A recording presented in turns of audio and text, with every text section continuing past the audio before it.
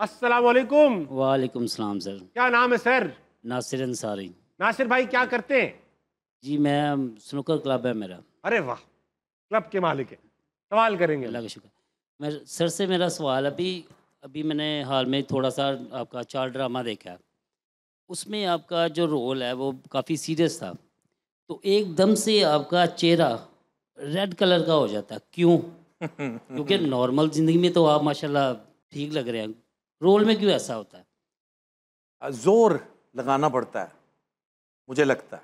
जब गुस्सा हर हर काम को अच्छा करने के लिए हाँ, ज़ोर। ज़ोर लगाना पड़ता अच्छा नहीं, कुछ काम ऐसे हैं मैं क्लियर करूँगा। मैं ये बात ऐसे जाने नहीं दूँगा।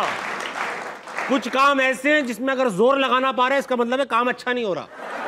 एक्चुअली हाँ ये भी एक वजह है आप सही कह रहे हैं। डिफ़िकल्ट बातें हैं ये। लेकिन वो जो मैं ज़ोर लगा के करता हूँ वो आपको अच्छा लगता है या बुरा लगता है? नहीं वो जो रोल आप करते हैं ना वो- तो ड्रामे की बात हो रही ज़ोर तो काफ़ी जगह पे लगता है। हाँ मैं का, मैं अभी जो तो वहाँ पे तो दरअसल आपने मुझे ज़ोर लगाते हुए सिर्फ़ टीवी पे देखा है उसी की बात करें। हाँ जी। बाकी छोड़ के। वो ही तो उसमें क्या लगता है? वो मैं ज़ोर लगा के एक्टिंग ठीक कर लेता हूँ या बुरी करता हूँ? एक्टिंग तो माशाल्लाह आपकी बहुत देखा एक्टिंग ही की बात हो रही है आपने और लेके ही मैं कहीं जा ही नहीं रहा हूँ मैं तो यहीं बैठा हुआ हूँ। अच्छा भाई भाई आपने कभी ज़ोर लगाया है? ज़ाहिर बात है भाई। इन्होंने ज़्यादा लगा दिया तो रहे ना। नहीं मसला मज़ाक कर रहे स्नूकर खेलते हैं ना कभी कभी ज़्यादा ज़ोर से। और स्नूकर में आपको पता है हाँ। क्या होता है? अस्सलाम वालेकुम वालेकुम अस्सलाम। क्या नाम है सर? सर मेरा नाम शहीर। शहीर भाई क्या करते हैं आप? सर मैं जॉब करता हूँ। किस चीज़ में?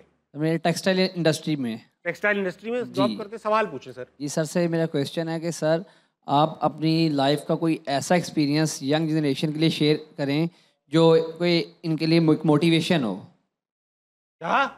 आप अपनी लाइफ का कोई ऐसा एक्सपीरियंस शेयर मैं मैं समझ गया तेरा सवाल मेरे भाई लेकिन मैं सच बताऊँ मेरी लाइफ से इंस्पिरेशन ना ले ये कौम।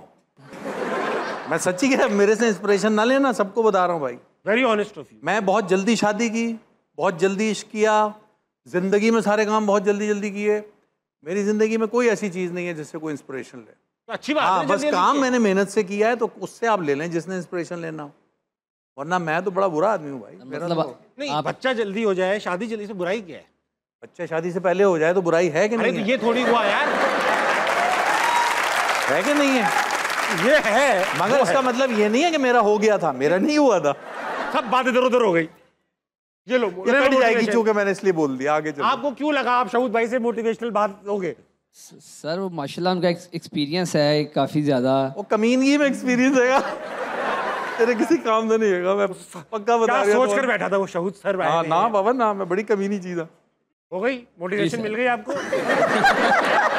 जो थी वो भी गई।